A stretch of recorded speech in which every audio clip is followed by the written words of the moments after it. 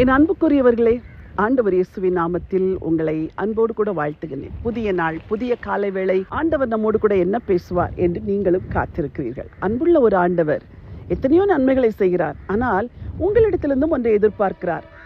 அதைத்தான் இன்றைக்கு வாசிக்க போகிறோம். யோவான் எழுதின சுவிசேஷம் பதினான்காம் அதிகாரம் பதினைந்தாம் வசனம். நீங்கள் என்னிடத்தில் அன்பாய் இருந்தால் என் கற்பனைகளை கை கொள்ளுங்கள் ஆண்டவருடைய வார்த்தை பாருங்கள். நீங்கள் என்னிடத்தில் அன்பாயிருந்தால் என் கற்பனைகளை கை கொள்ளுங்கள். நீங்கள் ஒருவரை நேசிக்கிறீர்கள் என்று வைத்துக் கொள்ளுங்கள். அவர்களிடத்தில் என்ன எதிர்பார்ப்பீர்கள்? உங்கள் வார்த்தைகளை அவர்கள் கனம் பண்ண வேண்டும் என்று நினைப்பீர்கள். அதே போலதான் அவர்களும் பிறர் பேசும் வார்த்தைகளை கனம் பண்ணாத ஒரு மனுஷனையோ மனுஷியோ பார்ப்பீர்கள் என்றால் அவர்கள் சொல்லுகிறார்கள் இவர்கள் இப்படி வார்த்தைகளை அலட்சியம் பண்ணுகிறார்களே என்று நினைப்பீர்கள் அல்லவா? பிள்ளைகளே உங்கள் பெற்றோர்கள் உங்களிடத்தில் என்ன எதிர்பார்க்கிறார்கள்? நீங்கள் அவர்களுடைய வார்த்தைகளுக்கு கீழ்ப்படிய வேண்டும். இதுதான் அவருடைய எதிர்பார்ப்பு. தலைமுறை வித்தியாசங்கள் இருக்கலாம்.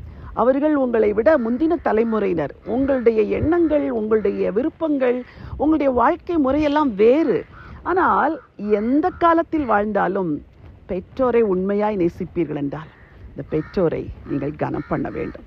அதே போலத்தான் ஆண்டவர் சொல்லுகிறார் நீங்கள் என்னிடத்தில் அன்பாயிருந்தால். என் கற்பனைகளை கை கொள்ளுங்கள். ஒவ்வொரு நாள் ஒரு வசனத்தை தியானிக்கிறோம். அப்படித்தானே? அதே போல் உங்கள் தனிப்பட்ட தியான நேரத்தில் ஆண்டவரே இன்றைக்கு நான் கை கொள்ள வேண்டிய கற்பனை என்ன? வார்த்தை என்ன? வசனம் என்ன? நீர் என்னோடு கூட பேசும் என்றால் ஆண்டவர் பேசுவார். அந்த கற்பனைகளை கை கொள்வீர்கள் என்றால் நீங்கள் ஆண்டவரை நேசிக்கிறீர்கள் என்பதை நிரூபிக்கிறீர்கள். இன்றிலிருந்து ஒவ்வொரு நாளும் ஒரு வார்த்தையை கத்திரத்தில் கேட்டு வாங்குங்கள். அந்த ஒரு வார்த்தைக்கு கீழ்ப்படியுங்கள்.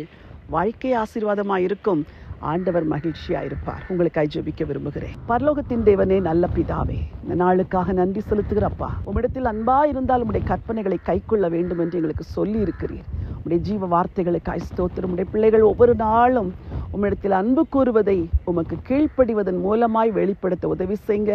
வாலிப பிள்ளைகள் பெற்றோரை நேசிக்கிறேன் என்று சொல்லியும் வார்த்தைக்கு கீழ்ப்படியாது இருப்பார்கள் என்றால் அவர்களுக்கு ஒரு நல்ல கீழ்ப்படிதலுள்ள இருதயத்தை தாங்கப்பா. வேலை செய்கிறவர்கள் எஜமான்களுக்கும் தொழில் செய்கிறவர்கள் தொழிலுக்கு முதலாளிகளுக்கும் ஆண்டவரை கீழ்ப்படியக்கூடிய இருதயத்தை தாங்க. ஊழியக்காரர்களுக்கு சபை மக்களும் ஊழியத்தின் கீழ் இருக்கிறவர்களும் அவருடைய வார்த்தைகளை கனம் பண்ணி அவர்களை நேசிக்க கத்திர உதவி செய்ய எல்லாவற்றுக்கும் மேலாய் எங்களுக்கு ஒரு பரம எஜமான் இருக்கிறீர். உங்களுடைய வார்த்தைகளுக்கு கீழ்ப்படியக்கூடிய இருதயத்தை உங்க பிள்ளைகளுக்கு தாங்கப்பா. ஆசீர்வதிங்க.